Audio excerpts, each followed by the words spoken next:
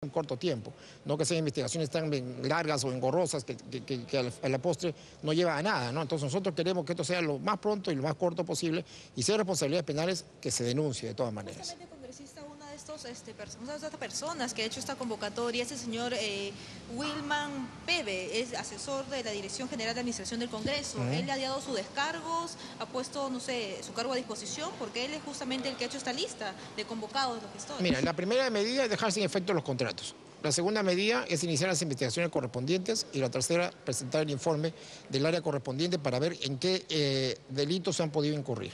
En ese proceso estamos. Si hay personas que tienen que dejar su cargo en estos momentos, se hará. O sea, acá tiene que haber responsabilidad de todas maneras. Y la mesa directiva también, o sea, un colega tuyo me pregunta, eh, eh, ¿la responsabilidad es única del presidente o también los vicepresidentes? Yo creo que si hay un vicepresidente que quiera zafar cuerpo, yo creo que eso también no es ético. Esta es una decisión que fue tomada por mesa directiva y como mesa directiva tenemos que estar hasta, hasta lo último. Esto no generaría ingresando en digamos, dentro de la...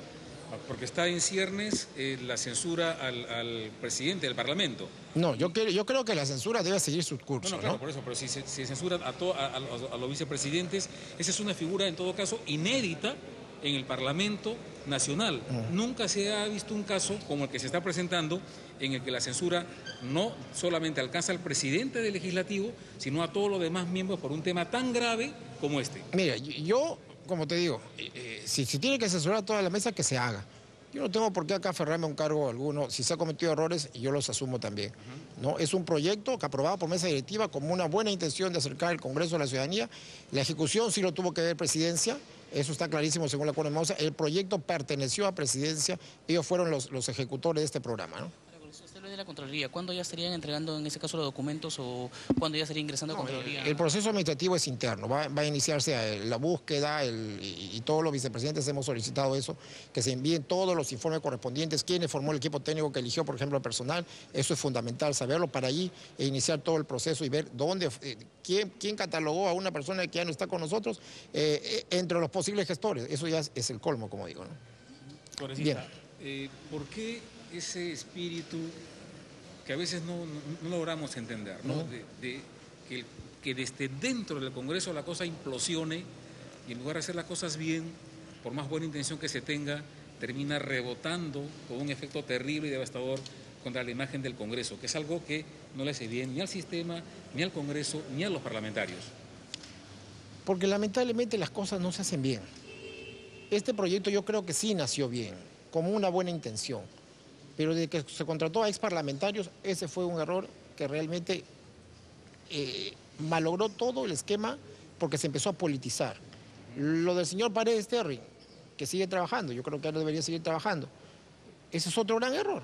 Va a ofrecer algo que al Congreso no le corresponde. Hemos estado error tras error y eso trajo abajo el programa. La intención buena estuvo, pero lamentablemente la ejecución no fue la correcta y tampoco fue buena. Debe ser soberbia, ¿no? Porque práctica política sí hay, Abugatás no es un nuevo en política. Bueno, yo no puedo eh, catalogar así. Yo lo único que sé es que hubo, hubo muchos errores que lamentablemente el trabajo... O sea, nosotros nos preocupamos siempre de elevar la imagen del Congreso. Hacemos y creamos programas todo el esfuerzo hacemos con las universitas y por situaciones equivocadas o erróneas se malogra una buena idea. Ahora, mañana se reúne el Consejo, este, consejo Directivo. Sí. Eh, esta, medida, este acuerdo tomado en la mesa directiva, ¿evitará que el caso continúe o que ahí zanje el tema?